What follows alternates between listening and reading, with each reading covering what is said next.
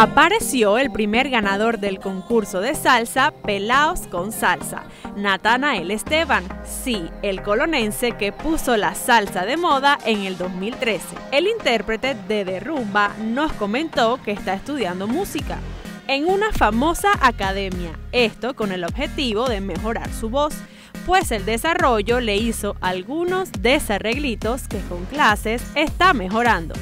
El salsero no solo está tomando clases de música, sino también aprenderá a tocar instrumentos, pues quiere ser un artista completo, de esos que cantan y tocan a la misma vez.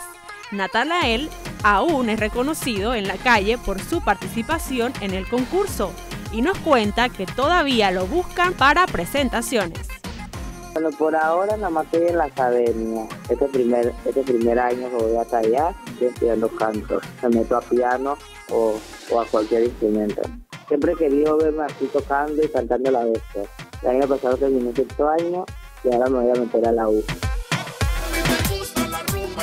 Oye, de vuelta con más del purgatorio y escuchábamos un poquito de lo que conversábamos con Natanael, este chico que eh, después de Pelados con Salsa dijo, ¿sabes qué? La música es lo que me gusta, a esto es a lo que me voy a dedicar y es lo que está haciendo, quiere ser un artista completo y mucho éxito que va a tener este chico porque todo lo que se ha propuesto lo, entrega alma, vida y corazón y se notó mucho en Pelados con Salsa porque él, eh, la anécdota muy particular de él es que él llegó, ¿sabes qué? Yo voy a Pelados con Salsa. ¿Y tus papás? No, yo vine solo.